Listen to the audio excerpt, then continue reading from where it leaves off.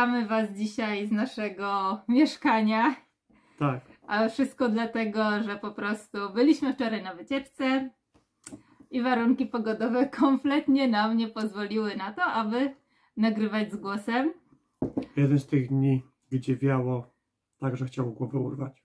Tak, ostatnio bym powiedziała, że jest to, był to jeden z wielu dni takich. Taka główna atrakcja dnia. Wiatr. Wiatr. Albo walka o głowę. Dokładnie. Więc dzisiaj postaramy się tak Wam trochę opowiedzieć o tym miejscu i między, pomiędzy nasze rozmowy w naszym mieszkaniu będziemy stawiać filmiki z wczoraj. Tak. Więc wracając do samego początku, parkowaliśmy w miejscowości Scotland Well. To jest taka mała wioseczka.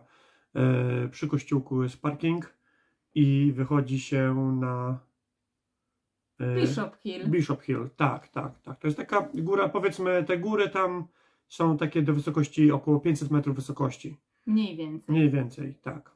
Dokładnie. Kierowaliśmy się w stronę tej właśnie góry, Bishop Hill, ale naszym punktem y, docelowym było Karlin Magi. Tak. Dobrze wypowiadam? Tak.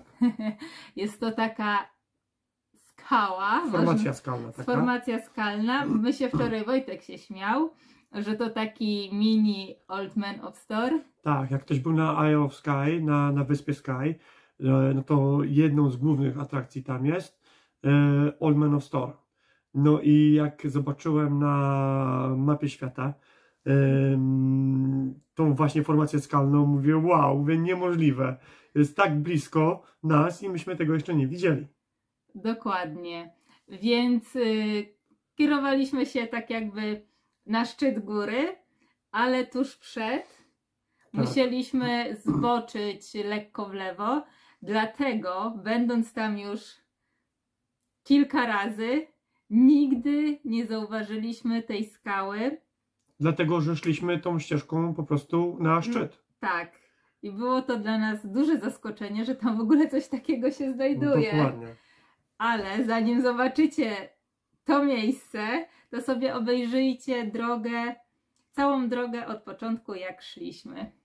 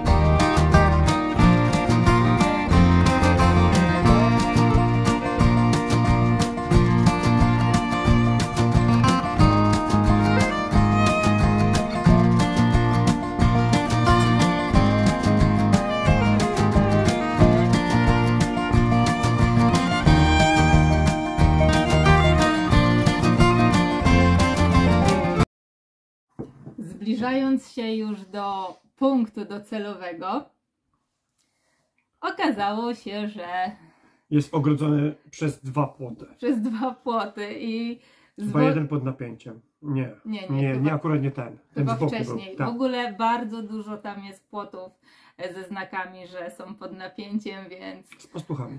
tak, trzeba uważać. Mhm. Ale tabliczki są, więc... Tabliczki są jasne. Tak, więc jak do, już doszliśmy, już widzieliśmy tę skałę i zobaczyliśmy podwójny płot, to mówimy, nie, niemożliwe. Hmm.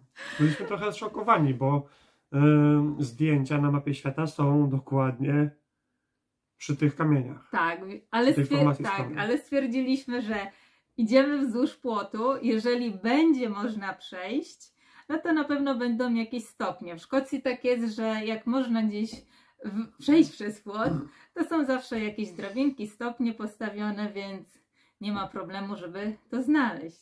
Dokładnie. No i szliśmy tak, mm, No, Chwilę. 300 metrów może. tak, chwilkę i okazało się, że jest wielka brama otwarta. Mhm. poszli, przeszliśmy przez nią, jednak nie wiedzieliśmy, czy tak jakby cofać się wz- wzdłuż płotu, górą iść, czy iść dołem. My poszliśmy dołem i nie wiem, czy to był dobry wybór. Bo później e, ta ścieżka jednak e, Później- zeszła niżej niż ta formacja skalna. I trzeba było niżej. No, wspinać Podejść. się. No dokładnie. Po pierwsze, trzeba było się dużo wspinać, a po drugie, ja, to, ja byłam przerażona oczywiście, jak zobaczyłam, ile skał leży na dole, czyli no po prostu one się osuwają z góry, tak? No Mhm. logicznie No myśląc. tak. Więc Jak moim, to w górach. jak to w górach, dokładnie. Moim zdaniem y, cały spacer na górę Bishop Hill i w ogóle spacer po Lomond Hills to jest miejsce idealne na wędrówki, nawet Tak. na rodzinne wędrówki. Dokładnie, bo nie jest aż tak strasznie wymagające. Tak, i ścieżki są ok, ale na tę skałę na Karni Magii kompletnie nie polecam, żeby schodzić tam z dziećmi. Tak, bo jednak Według jest mnie jest bardzo niebezpiecznie. Ja sama czułam się, może nie zagrożona, ale niepewnie. Mm. Naprawdę, jak zobaczyłam te wielkie skały, które się poosuwały na dół i tyle, ile ja mam się wspiąć, no to już tak zwątpiłam w ogóle, czy tam można wchodzić, ale jeżeli ta brama była otwarta, ścieżki były wydeptane, ale nie były Tak. jakieś tam szerokie, tylko widać, że tam jednak nie chodzą tłumy, tylko jakieś pojedyncze jednostki, Dokładnie. jak my. Dzieciaki znajdą na mapie świata. Tak, być może po prostu ludzie o tym nie wiedzą, tak jak my nie wiedzieliśmy. Mhm, bo my naprawdę ten tutaj cały park koło nas to mamy raczej oblatane No raczej tak. Jak nie mamy co robić, to tam jeździmy. jest blisko właśnie, na przykład jak wiemy, że wypogodzi się po południu tylko, no to Dokładnie. pół godzinki autem i jesteśmy na miejscu. Tak, więc y, nie wiemy jak was poprowadzić. Później wracaliśmy y, górą. No i ścieżka była dużo łatwiejsza niż dołem, ale znowuż jak idzie się z góry, to trzeba lekko zejść. Więc to też wymaga takiej, nie powiem, że umiejętności, ale już większej uwagi Mhm. i ostrożności. Ale co tu dużo mówić? Po prostu zobaczcie sami, jak to mniej więcej wyglądało. Dokładnie.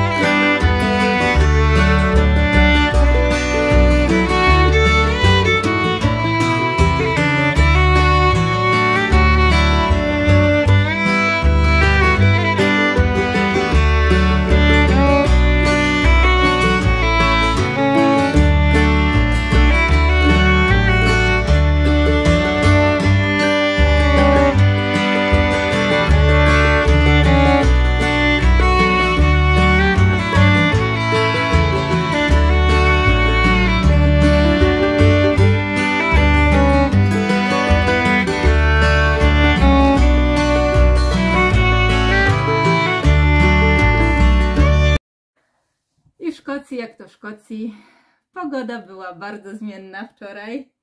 Jedynie co się nie zmieniało to siła wiatru.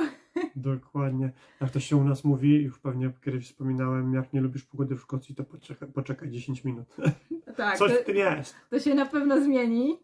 No ale ten wiatr wczoraj to był wczoraj i dzisiaj też był okropny. Ojej. Więc niestety, no, takie uroki ostatnich dni. Ale co chciałam powiedzieć, że w pewnym momencie naszła taka chmura, że myśleliśmy, że będzie lało, więc mieliśmy ćwiczenia, biegania po górach. Dokładnie, naszło od, o, o, o, przed nami e, nasunęła się taka ciężka chmura i nad samym Loch Leven, nad jeziorem było takie oberwanie, było widać, że już myśleliśmy, że no, nie damy radę. I zaczęliśmy troszeczkę Zbiegać, Zbiegać z z góry, górki. ale było niesamowicie. Ja mówiłam, że faktycznie mogłabym, może nie biegać po górach, ale zbiegać z góry, ale no, jakiś to trening przed tym. za, zawsze już od czegoś trzeba zacząć. tak. Więc kupujemy buty, bo jeszcze nie kupiliśmy. Tak, Wojtek mówi, że y, jakie buty to są? Na ultramaraton? Nie. No, do, no na przełaje takie do, do, do bieganiu po ścieżkach. Tak, więc może sobie kupimy. Bo i długie dystanse, na przykład jak wiesz, że jest fajna ścieżka, to i można też w takich butach, nie musisz iść w takich ciężkich. No ja wczoraj po wczorajszym powrocie to przez kilka godzin jeszcze czułam pięty, jak mnie bolą. Ale Wojtek mówi, a to przez buty. A ja, a ja nie wiem, czy to przez buty. Albo grubsze skarpetki. No, no nie, no takie buty jak ja mam do chodzenia po górach nie nadają się do biegania. Mm-mm. Oczywiście. Jak to Wojtek? Musiał nagrać mój wiek, więc wy niczego kompletnie nie tracicie, bo. Przeżyjcie to po tym skoku, teraz zobaczycie jak Monia biega na... No przestań, skok, skok był najlepszy. Bieg nie był taki super, bo się nie wywaliła. Jak był złoty medal za skok, to za ten bieg to ja nie wiem. No to tylko brązowy, bo bez żadnych przygód to, to się nie liczy. No, bez upadków. Dokładnie.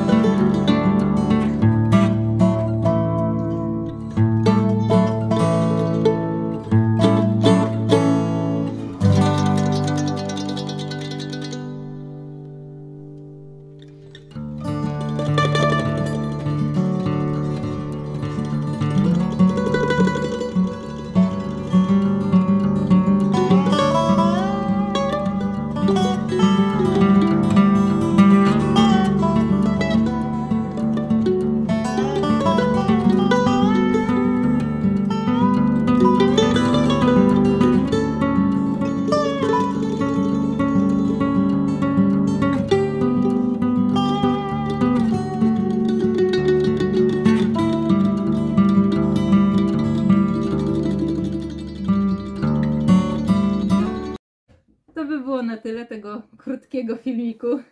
Mamy nadzieję, że w takiej wersji również Wam się spodobał filmik. Tak za bardzo to nie mieliśmy wyjścia.